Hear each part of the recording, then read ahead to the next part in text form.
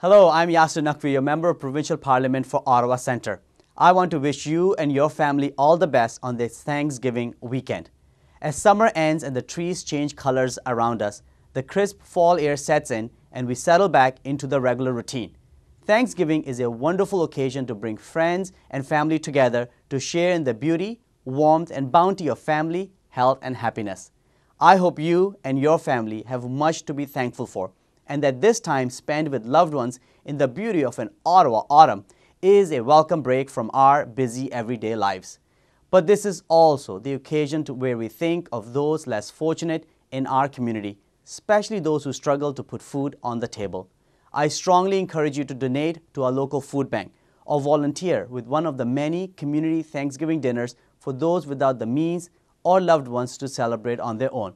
Once again, please accept my best wishes for a safe, relaxing, and delicious Thanksgiving.